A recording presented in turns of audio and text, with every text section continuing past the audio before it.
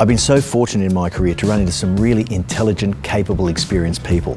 But I've got to tell you, the number of great leaders I've run into, I could count on one hand. It's because leadership is quite tough, but it can also be incredibly rewarding if you do it the right way.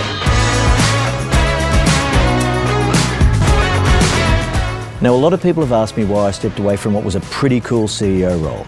But after five years, I figured I want to do some more here. And so my purpose now is to improve the quality of leaders globally.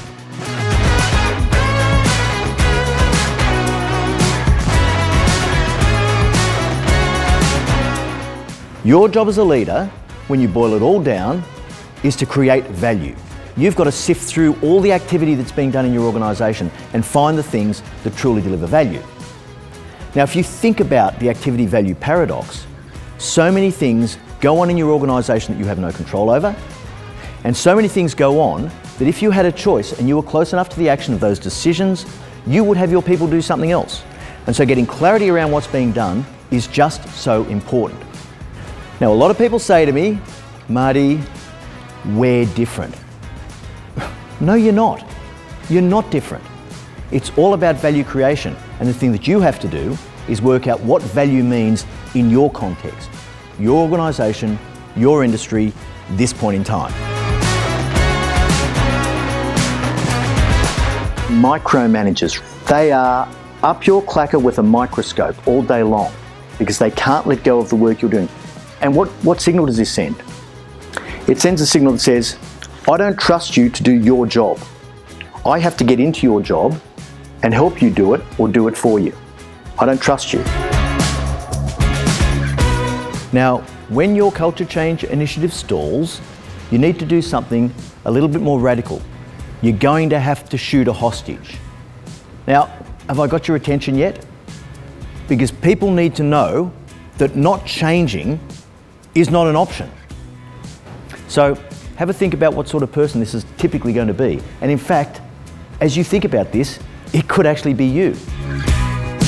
So great to have you back for week four of Leadership Beyond the Theory. And this week in this module, we're going to look at working at level.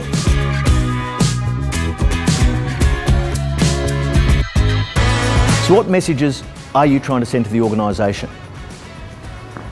No one is indispensable. Not me, not you, no one. Behaviours actually matter. And passive aggressive resistance, white anting, simply won't be tolerated. And if you can't get this under control in your leaders, you will never change your culture. Now, if you genuinely believe that the organisation is going to be better off why would you penalise the organisation and the good people in it because you're not prepared to deal with those handful of people that want to keep the status quo exactly the way it is? If you operate with self-interest, if you're worried about your bonus, your next promotion, how a particular issue affects you, your people will smell it. You will never get their loyalty. If you're in it for yourself, they will never be in it for you, ever.